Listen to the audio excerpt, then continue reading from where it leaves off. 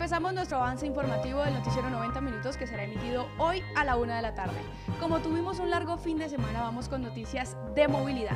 Movilidad en el sur de la ciudad con nuestro periodista Miguel Ángel Palta. Miguel, ¿qué tenemos hoy a la una de la tarde? Garrote y zanahoria para paliar algunos inconvenientes, sobre todo eh, después de las 7 de la mañana y sin embargo entre 6 y 7 de la mañana se presentó un normal tráfico en el sur de la ciudad. Esto a la 1 de la tarde.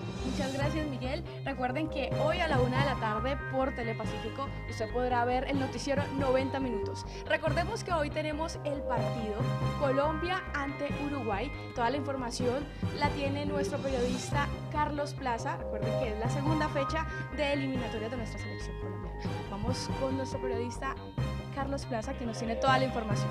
Carlos, ¿qué tenemos en deportes a la una de la tarde? Nuestro avance de la previa del partido Colombia ante Uruguay.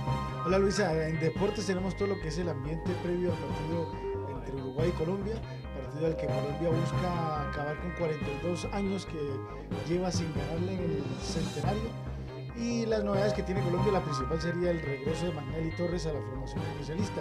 También los jugadores uruguayos que militan en la América, hablando del partido, y el argentino Ernesto Tecla Farías también opinó sobre el momento malo de Argentina que comenzó perdiendo en la eliminatoria y hoy enfrenta a Paraguay de visitante.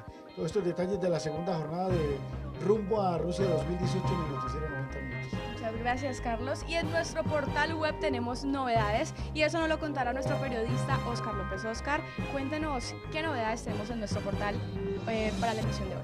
Gracias Luis, un saludo a todos los televidentes de 90 minutos. Muy bien, en nuestro portal 90minutos.co tenemos una entrevista muy importante y sobre todo en medio de este ambiente previo al fútbol y es con Winington Ortiz, lo ubicamos en Bogotá y él nos cuenta cómo en el año de 1973 logró anotar un gol con el que la selección Colombia en ese momento derrotó a Uruguay en Montevideo y desde entonces Colombia no ha vuelto a ganar un partido de eliminatorias. Por tanto, es muy bonito lo que nos cuenta Wellington y también la expectativa que tiene con respecto a que Colombia hoy pueda cambiar la historia. Todo esto en 90minutos.com. Muchas gracias, Oscar. Y estas son algunas de las noticias que usted podrá ver hoy en la emisión de la una de la tarde. Recuerden que les informó Luisa Fernanda Churi para 90 minutos, el noticiero regional más visto en Colombia.